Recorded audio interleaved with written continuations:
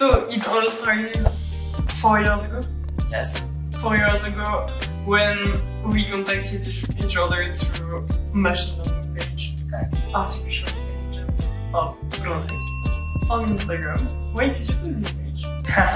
I made that page uh, to get more updates about AI community, and that's where we met.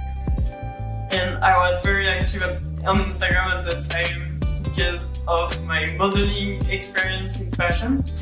And of course, I was also passionate about AI, so I got to see this page. Yes. And then we talked a lot about AI and how AI is developing throughout the time.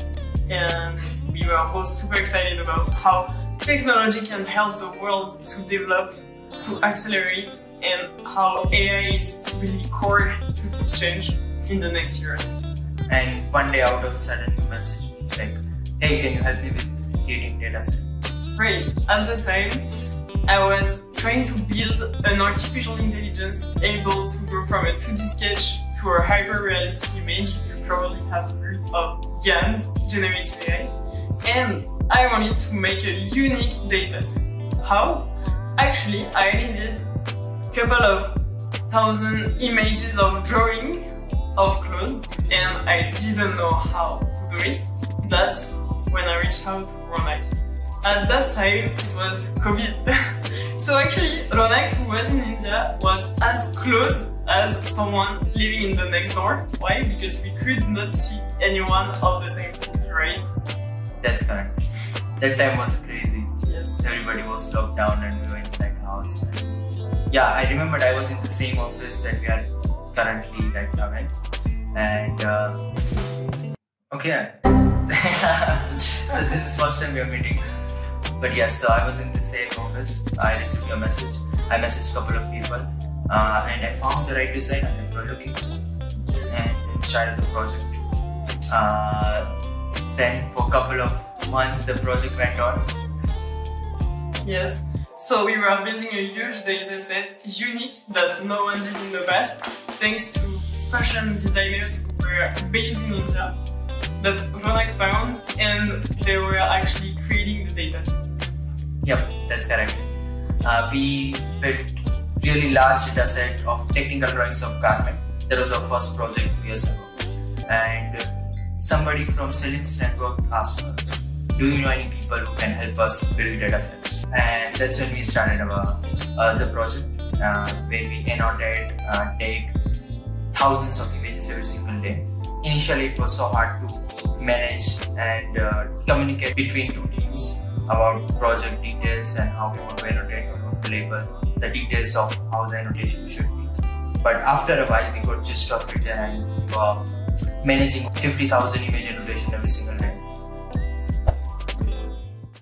So currently we are a team of 45 people and we are helping 20 companies with their data sets, be it annotation, be it labeling, uh, editing, synthetic data. There are 45 people who are experts in certain domain. Of course, we started with fashion, but we are now also in video surveillance and we are also in uh, industry. So today we are covering multiple subjects and we have experts on each of these domain. Plus, we have data scientists and managers. So how is it to work with a partner who is more than 6,000 uh, kilometers away? Oh yeah, it was very challenging. Initially just to like understand what we were speaking. For both of us I think it was very challenging because Listen. Okay, I will do it again from first. Sure. Eventually. Yeah, initially it was very challenging but just to understand what we are speaking because you have a French accent, I make might have an accent. So just the understanding language was a barrier. After that there is a time zone, there is a like culture differences between us, how we communicate, what saying what mean to each other. And yeah, things like that.